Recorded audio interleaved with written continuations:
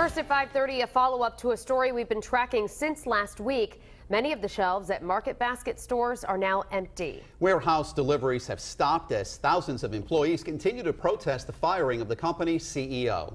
And tonight we're getting a first-hand look inside one local store where the shelves are not being restocked. Eyewitness News reporter Steve Nielsen is live in the newsroom now with our top local story tonight at 530.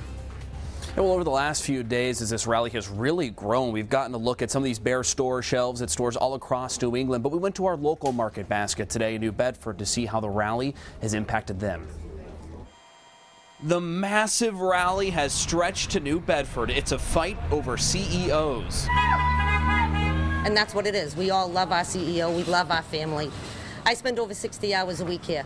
This is my second home and I'm not willing to give it up for anybody. Kathy Staines is one of many Market Basket employees using vacation days to rally against the company's board. The board voted out Arthur T. Demoulas in favor of his cousin, Arthur S. Demoulas.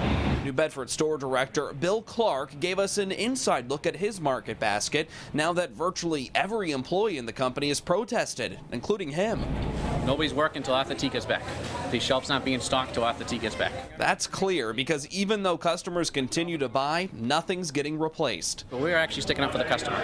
We're sticking up for the prices. We're sticking up for all the loyal customers. I mean, we, we love Market Basket. I, he showed us the back cooler, typically packed to the brim with produce. It's now empty. Other New England market baskets are in the same situation as workers march on the company headquarters in Massachusetts. Clark is certain employees and customers will force the board's hand, and Arthur T. will be reinstated. You know, this guy is genuine. This guy is real, and people are going to start seeing that. You know, he's a good guy, and good guys win. Now, the back and forth in this family feud is complicated. It's been going on for a very long time. So, for a full breakdown of it, you can go to our website. It's WPRI.com. In the newsroom, Steve Nielsen, Eyewitness News.